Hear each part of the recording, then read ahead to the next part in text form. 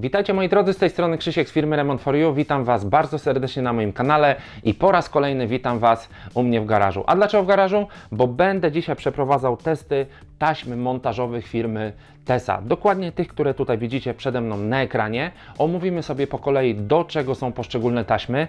E, sprawdzimy ich wytrzymałość, czy jest taka właśnie jak deklaruje e, producent oraz pokażę Wam przykłady zastosowania poszczególnych taśm. Ciekawy? No to jedziemy.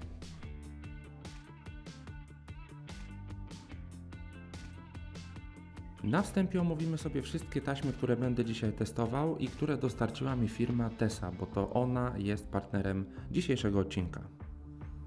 Opis zacznę chyba od najbardziej flagowego produktu i najbardziej rozpoznawalnej taśmy firmy Tesa, czyli taśmy Ultra Strong. Tutaj producent deklaruje, że jest to najmocniejsza taśma w ofercie firmy Tesa. Wytrzymuje aż do 100 kg na metr bieżący taśmy. Taśma piankowa o szerokości 19 mm. Kolejna taśma to taśma Mounting Mirror, bardzo podobna do taśmy, którą przedstawiałem Wam przed chwilką, jednak ta jest dedykowana do wilgotnych i mokrych pomieszczeń, takich na przykład jak łazienki, takich jak kuchnie. Jeżeli boimy się wiercić w płytkach, jeżeli nie umiemy tego robić, no to możemy niektóre elementy przykleić na przykład na tą taśmę. Jeżeli chodzi o lustra, no bo ona jest w sumie dedykowana do luster, to możemy kleić lustra do grubości 4 mm. Następna w kolejce jest taśma Mounting Slim, czyli tak jak sama nazwa wskazuje, jest ona nieco węższa niż dwie pozostałe, bo ma szerokość tylko 9 mm. I tutaj ona nadaje się do wewnątrz pomieszczeń, tak naprawdę do wszystkich powierzchni. Farba, szkło, drewno, metal, jest odporna na starzenie i długotrwałe działanie wilgoci. Kolejna taśma to taśma transparentna przeznaczona do mocowania bezbarwnych przedmiotów, np. jakichś numerów nadrukowanych na szkło, które muszą zostać przymocowane np. na drzwi wejściowe budynku albo ogólnie na budynek. Jest to taśma bardzo cienka, odporna na warunki atmosferyczne, chociażby takie jak np. promienie UV. Taśma Mounting Universal jest taśmą bardzo podobną do dwóch pierwszych, które Wam dzisiaj przedstawiałem, jednak tutaj na opakowaniu producent opisuje, że nadaje się do różnorodnych powierzchni, również porowatych. Mounting Outdoor, jak sama nazwa wskazuje, jest to taśma która jest przeznaczona do montowania elementów na zewnątrz budynków. Jest odporna na promieniowanie UV, inne warunki atmosferyczne i dodatkowo nadaje się do wymagających powierzchni takich jak płytki, cegły i twarde tworzywa sztuczne. Ostatnia taśma dwustronna w tym zestawieniu taśma ACX. Jak deklaruje producent jest ona odporna na wyższe temperatury, warunki atmosferyczne oraz niektóre substancje chemiczne. Powiem Wam, że to jest taśma, która z dzisiejszego zestawienia lepi się do palców chyba najbardziej. Jestem bardzo ciekawy jak ona wypadnie na testach. Na koniec wodoodporna taśma naprawcza do stosowania w ciężkich, zewnętrznych, wilgotnych warunkach. I tutaj producent deklaruje nam, że może ona być przyklejona na wilgotne powierzchnie, nawet może być przyklejona pod wodą, czyli tak na chłopski rozum możemy naprawić tą taśmą basen od środka, nie spuszczając z niego wody. Jestem ciekawy, jak ona się zachowa. No i dobra moi drodzy, powiem Wam, że długo zastanawiałem się jak mam nagrać dzisiejsze wideo i w jakiej formule ono ma e, być. Pomyślałem, że odkopię moje stare urządzenie, które stworzyłem w zeszłym roku do badania wytrzymałości na zrywanie kołków w karton gipsie, czyli mój wyrywacz 2021. Dorobiłem do niego element z dwóch płaskowników aluminiowych o szerokości 5 cm i długości 15 cm i ten element będę przyklejał na próbkę, e, jaką jest płytka ceramiczna i po prostu będziemy badać siłę na zrywanie. Po kolei sobie przebadamy wszystkie taśmy, zobaczymy jaką one mają e, wytrzymałość. Na pierwszy ogień idzie taśma Ultra Strong i tutaj niemiłe zaskoczenie, bo płytka, którą przygotowałem do próby, płytka ceramiczna nie wytrzymała siły zrywającej i pękła. No tak to moi drodzy wygląda, pękła w dwóch miejscach, tak więc no ta próbka już się do niczego nie nadaje.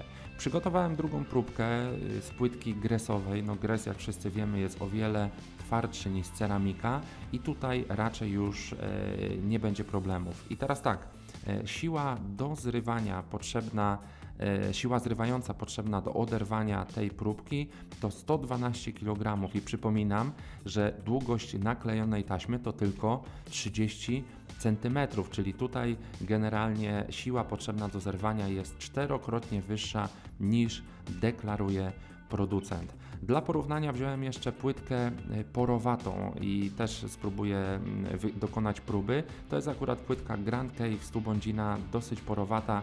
No i tutaj ta siła zrywająca potrzebna do oderwania próbki jest o wiele mniejsza, bo tylko 75 kg, tylko w cudzysłowie, bo i tak to jest ponad dwa razy więcej niż deklaruje producent.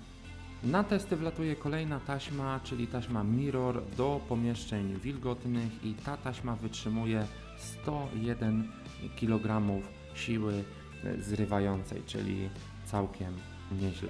Jeżeli chodzi o taśmę Slim, no to przyklejam również 30 cm, chociaż tutaj spodziewałem się, że ta siła będzie dużo mniejsza, bo i taśma jest węższa, ale wytrzymałość tej próbki to 67 kg. Następna taśma i następna próba, tutaj akurat taśma outdoor i ta taśma wytrzymuje 73 kg przy 30 e, cm i zobaczcie jak ona się odkleja od próbki. Tutaj e, tak naprawdę no, struktura tej taśmy jest taka e, gumowata, taka jakby nie wiem, no, foliowa, nie wiem jak to nazwać, ale bardzo, bardzo ciekawa struktura. Następnie testowana jest taśma Universal i tutaj wynik jest również wysoki, bo 105 kg, z tym, że tutaj ta taśma, zobaczcie jak ona odchodzi od próbki, jest dosyć taka no ciężka do zerwania. Tutaj musiałem się sporo namęczyć, żeby ją y, odkleić.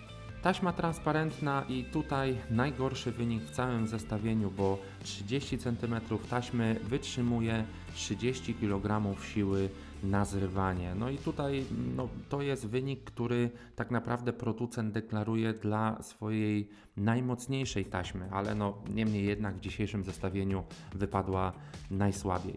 Na koniec taśma ACX, taśma, która przypomina moim zdaniem bitum. E, ona wytrzymuje 81 kg siły zrywającej przy 30 cm taśmy. No i dobra, mamy testy za sobą, teraz przechodzimy do przykładów zastosowań.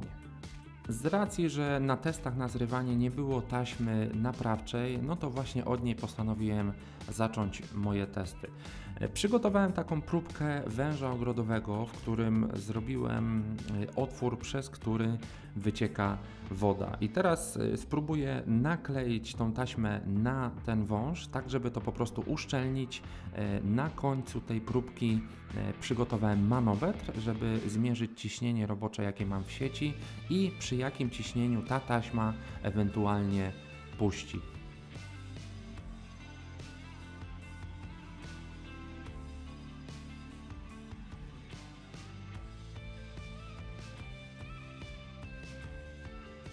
Tak wygląda moja próbka. Powiem Wam szczerze, że no, może dosyć niechlujnie, ale zobaczymy, czy ona zda egzamin.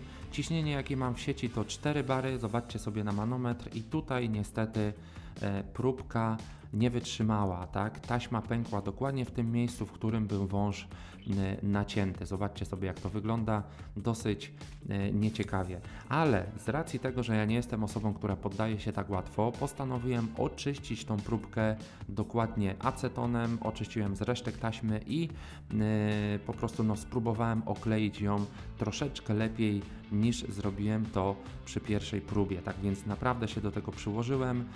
Druga próbka i zobaczcie co się dzieje. Próbka gotowa, podłączam ją ponownie do sieci i mimo tego, iż wytrzymała ona znacznie dłużej niż przy pierwszej próbie, zobaczcie ciśnienie ponownie nabite 4 bary, e, jednak no powoli zaczął pojawiać się jakiś tam pęcherz na tym e, sklejeniu, który się powiększał i z biegiem czasu po prostu taśma pękła, tak więc do naprawiania węży ogrodowych ta taśma się e, nie nadaje. Ale dajmy jej drugą szansę. I teraz wyobraźmy sobie taką hipotetyczną sytuację, że mamy po prostu jakiś pojemnik na wodę e, na tarasie i mamy dziwnego sąsiada w damskiej fryzurze, który strzela nam do tego pojemnika e, z wiatrówki i robi otwór. Woda się wylewa, my jesteśmy zdenerwowani, ale na szczęście mamy taśmę naprawczą i spróbujemy naprawić otwór. Mały śród, a jednak zrobił dosyć dużą e, dziurę. Tutaj po napełnieniu ponownym e, przy dwóch kawałkach taśmy ona jeszcze przeciekała, ale doklejając e, jakiś tam trzeci kawałek, e, lepiąc to, no może nie wygląda za ciekawie, ale spełnia swoją funkcję, tak? Tak więc no tutaj nawet na jakieś tam wilgotne elementy ta taśma się bardzo dobrze trzyma, no i uszczelnia to wszystko. Nie wiem jak długo y, to by wytrzymało, ale generalnie jest ok. I postanowiłem jeszcze dodatkowo sprawdzić, czy ta taśma faktycznie nadaje się do klejenia y, pod wodą. Y, zrobiłem jakąś tam dziurkę nożykiem, przykleiłem taśmę od środka i powiem Wam, że naprawdę jestem bardzo mile zaskoczony, bo po przyklejeniu to wszystko jest szczelne i tak jak tutaj za chwilkę zobaczycie, wytrę wszystko ręcznikiem papierowym, przyłożę kawałek suchego ręcznika i zobaczcie, nie ma najmniejszego śladu po wilgoci, tak więc to wszystko się y, po prostu trzyma i jest szczelne. Tak więc test można za uznać yy, za zakończony sukcesem. No i dobra moi drodzy, teraz kilka przykładów zastosowań taśm e, dwustronnych. Widzicie czasami w moich filmach, że ja takie taśmy stosuję. Ostatnio wrzuciłem film jak montowałem sterowniki u mnie w kotłowni do ogrzewania podłogowego i tam listwy przyklejałem na taśmę e, dwustronną. Super sprawa, nie wiercimy w płytkach, nie kurzymy. Jeżeli na przykład macie jakiś element do powieszenia w łazience, no to też nie musicie mieć jakichś tam, nie wiem, specjalnych koronek, specjalnych narzędzi, umiejętności. Po prostu przyklejacie i nie martwicie, że płytka, e, nie martwicie się, że płytka Wam pęknie.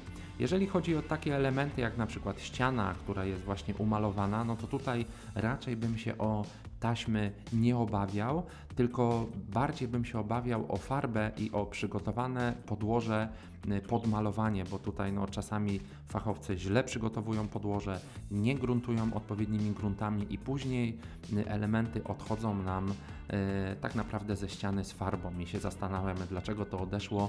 No moi drodzy, to nie jest wina taśmy, tylko to jest bardziej wina źle e, przygotowanego podłoża.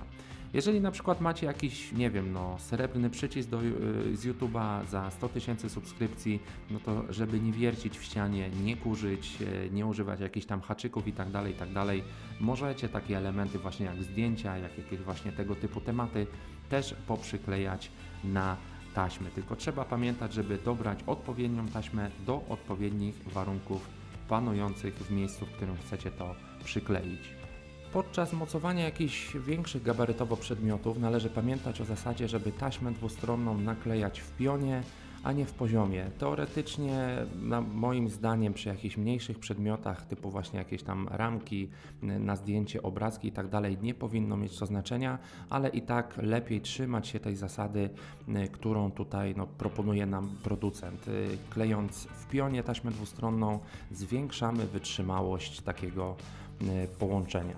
Tak jak widzicie tutaj na filmie, no, mocowanie jakichś obrazków, e, ramek na e, zdjęcia czy jakichś tam innych tego typu tematów jest dziecinnie proste. Tutaj nie ma tak naprawdę filozofii i dziecko sobie z tym poradzi. Zresztą tutaj macie dowód na ekranie, bo mam małego pomocnika, który w swoim pokoju wiesza swoje malowidła e, na ścianach i nie ma z tym problemu. Trzeba tylko pamiętać, że podczas takiej zabawy lepiej nie dawać dziecku ostrych przedmiotów.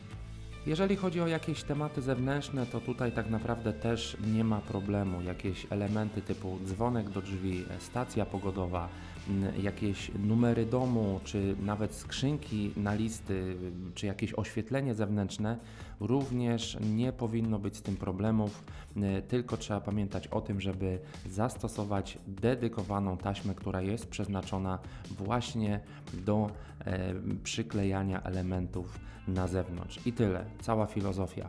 E, na koniec tego filmu zachęcę Was tradycyjnie do pozostawienia łapki w górę, jeżeli film się podobał. Wszystkie e, linki do taśmy, które tutaj były zawarte w tym filmie, zostawiam Wam w opisie pod filmem. No i tyle moi drodzy. Dziękuję firmie Tesa za dostarczenie materiałów na testy. Pozdrawiam, trzymajcie się ciepło. Cześć.